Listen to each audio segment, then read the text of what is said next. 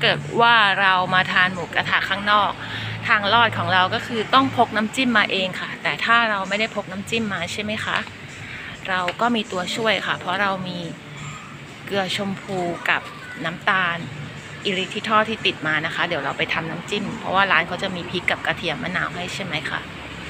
แล้วเราก็ไม่ทานน้ำซุปเราใช้น้ำเปล่าแทนค่ะ แค่นี้เราก็ รอดแล้วนะคะ นี่ค่ะ ร้านนี้มีมุมตำส้มตำนะคะ เราก็จะมาตำน้ำจิ้มของเราค่ะ เพราะเราทานพริกกับกระเทียมแล้วก็มะนาวได้แล้วใช้น้ำตาลอิเล็กทริทอลกับเกลือชมพูของเรานะคะ แค่นี้เราก็รอดแล้ว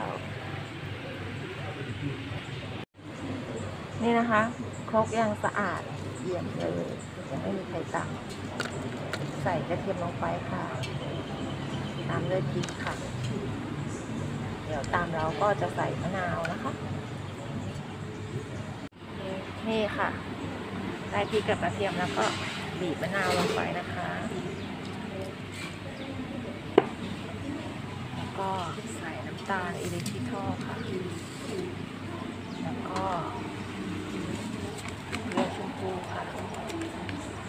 แค่นี้นะคะเราก็จะได้น้ำจิ้มแล้วค่ะ นี่มาดูผักในร้านหมูกระทะนะคะ ว่าเราจะทานอะไรได้บ้างนะคะ ผักใบเขียวเราทานได้ทุกอย่างนะคะ สิ่งที่ทานไม่ได้นะคะ นี่ค่ะวุ้นเส้น ผักหัวค่ะ แครอททานไม่ได้ มันฝรั่งไม่ได้ ฟักทองไม่ได้ข้าวโพดอ่อนและฝักข้าวโพดไม่ได้ค่ะนอกนั้นเป็นผักที่เราทานได้หมดค่ะ อ่าเดี๋ยวเรามาดูนะคะว่าเราจะทานอะไรได้บ้างนะคะ เส้นแก้วทานได้ค่ะ ตรงนี้ไม่ได้เลยนะคะ นี่ไม่ได้ ทานตับได้ค่ะปลาหมึกได้นะคะแมงกะพรุนไข่นกกระทาพวกของหมักนี้เราทานไม่ได้นะคะ